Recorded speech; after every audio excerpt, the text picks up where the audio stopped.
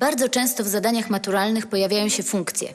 Każda funkcja ma swoją dziedzinę, czyli zbiór tych argumentów, dla których wartość funkcji jest jednoznacznie określona. Problemem może być wyznaczenie tej dziedziny, jeżeli nie jest podana. Przykładem niech będzie funkcja f od x równa się 1 podzielone przez pierwiastek z x kwadrat plus 5x plus 6. Jaka jest jej dziedzina? Musimy sprawdzić dwie rzeczy.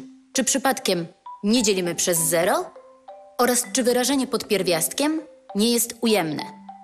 Po pierwsze weźmy mianownik, czyli pierwiastek z x kwadrat plus 5x plus 6 i sprawdźmy, dla jakich wartości x jest on równy 0. Pierwiastek jest równy 0, gdy wyrażenie pod pierwiastkiem jest zerem.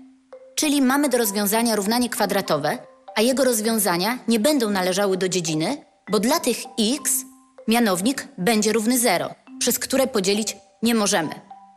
Po przekształceniu x kwadrat plus 5x plus 6 otrzymujemy x plus 2 razy x plus 3.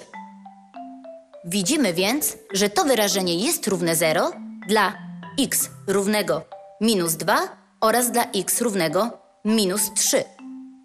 Zatem te dwie wartości x równe minus 2 oraz x równe minus 3 nie należą do dziedziny.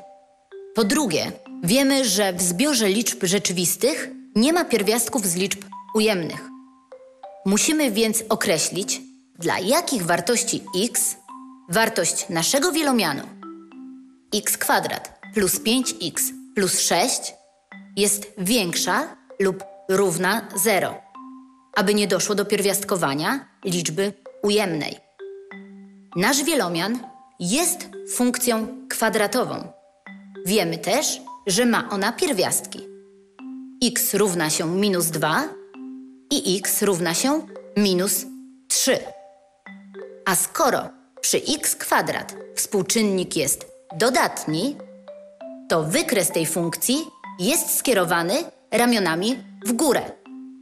W związku z czym funkcja ta przyjmuje wartości nieujemne dla x od minus nieskończoności do minus 3 włącznie i dla x od minus 2 włącznie do plus nieskończoności.